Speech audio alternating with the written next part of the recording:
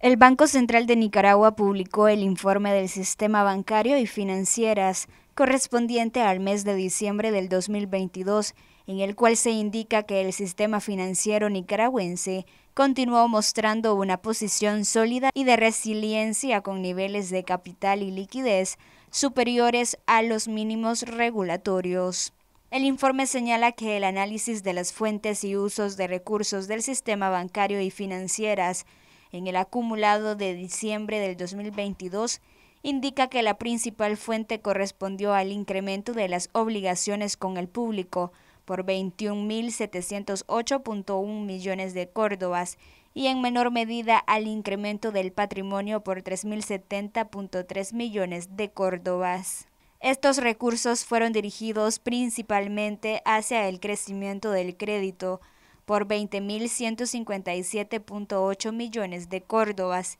y a la reducción de las obligaciones con las instituciones financieras y por otros financiamientos por 3.832.9 millones de córdobas. Por su parte, los activos totales del sistema registraron al cierre de diciembre un incremento del 8.4% en términos interanuales, para un saldo de 284.178.2 millones de córdobas. De igual forma, los pasivos mostraron un aumento del 8.8%, alcanzando con un saldo de 234.828.3 millones de córdobas, mientras que el patrimonio se ubicó en 49.349.9 millones de córdobas, equivalente a un crecimiento del 6.6%. En línea con lo anterior, los depósitos del público registraron un crecimiento del 12.9% en términos interanuales, mientras la cartera de crédito se incrementó en 15.3%.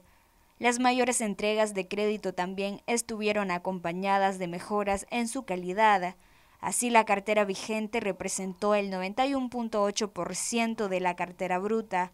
mientras el ratio de la cartera en mora a cartera bruta fue de 1.5%.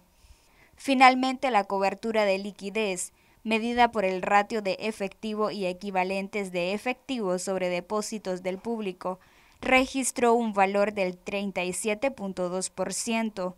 los niveles de provisiones se ubicaron por encima de las necesarias para cubrir la totalidad de la cartera vencida y la adecuación de capital finalizó en 19.6%. Para Noticias 12, Luisa Centeno.